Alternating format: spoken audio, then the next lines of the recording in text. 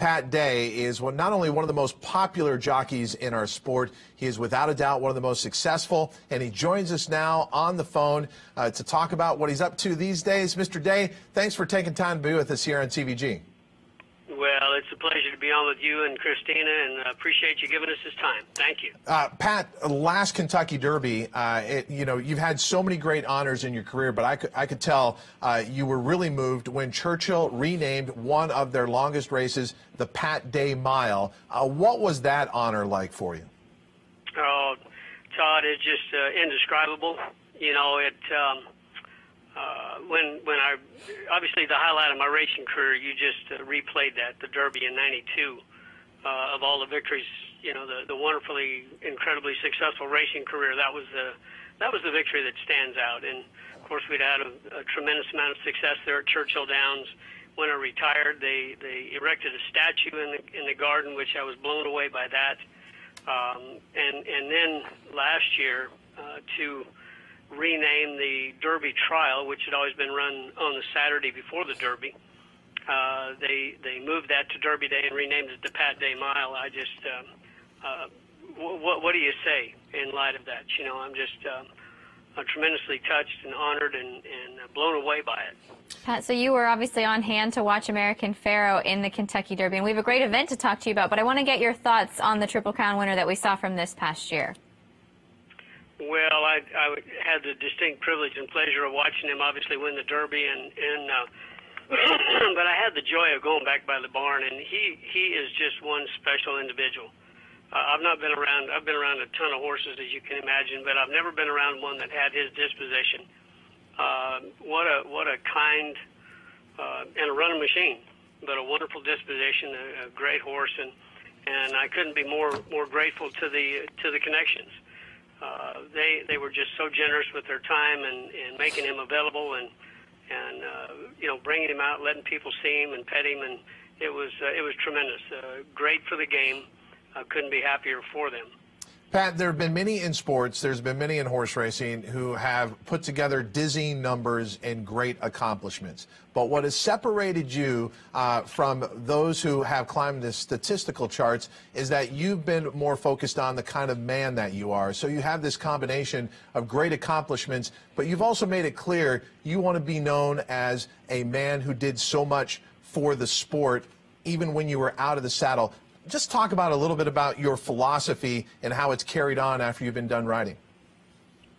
Well, Todd, you know, I, I, I'll be the first to tell you I was tremendously blessed, and I believe my steps were divinely directed uh, from the mountains of Colorado, where there was no horse racing, uh, by way of the uh, rodeo arena, and ultimately onto the racetrack, where that talent and ability had an opportunity to come forth. And, and um, uh, you know, it was tremendously successful early on uh, just indicative of the talent and ability that I had. And for the first 10 years, I took full credit for all that.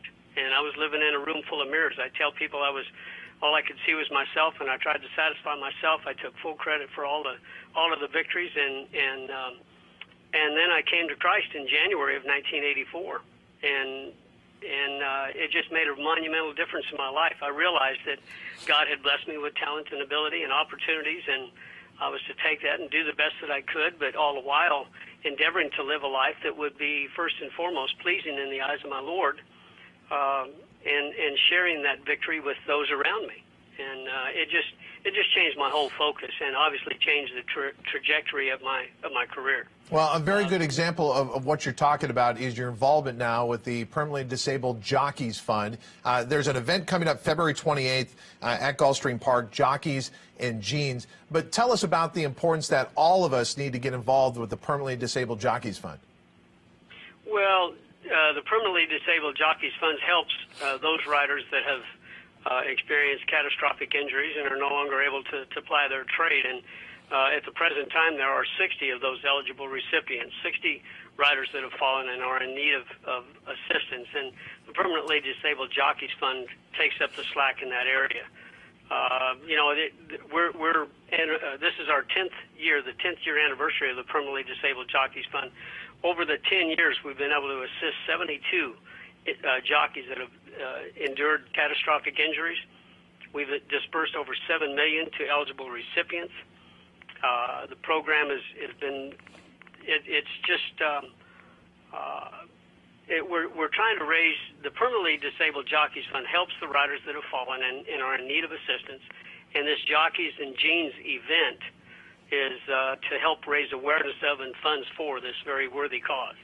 The folks putting together the Jockeys and Jeans events, they're fairly new to these events, and they raised a lot of money in their second ever event that they had, over $200,000, and they're hoping to top that. I know this Sunday at Gulfstream, and the folks at Lane's End have been very generous in donating some stallion seasons to the event as well.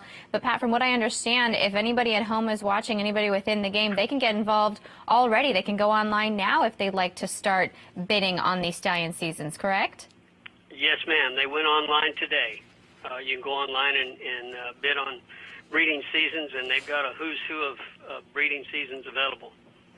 Uh, yeah, the the event, uh, Christina, is Sunday afternoon, February 28th. Doors open at 12 o'clock. It'll be held at the Sport of Kings Theater at Gulfstream Park. And uh, obviously, the purpose of Jockeys and Jeans is to raise awareness of the challenges faced each day by those who have suffered catastrophic on-track injuries uh, there's going to be myself and a, and a who's who of jockeys, Hall of Fame jockeys, uh, myself, Laffit Pincay, Manny Ycaza, Johnny Rotz, Don Pierce, Walter Blum, Angel Cordero, Edgar Prado, Jose Santos, Bobby Ussery, Bill Boland, Georgie Velasquez, Jacinto Vasquez, and Sandy Hawley will all be there uh, signing autographs and uh, meet and greet with the fans that would care to come. Uh, the, the general mission is $50 uh, 25 for jockeys and former uh, former jockeys.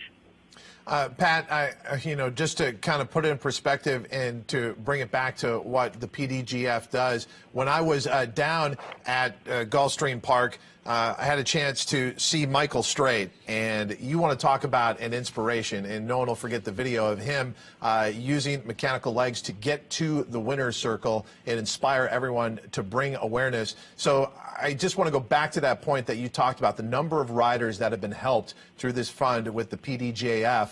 And uh, Michael Straight, to me, was just to see him in person, uh, especially after watching that video, was a real testament to what you're talking about, how we can make a real effect with the dollars earned through these events. Absolutely.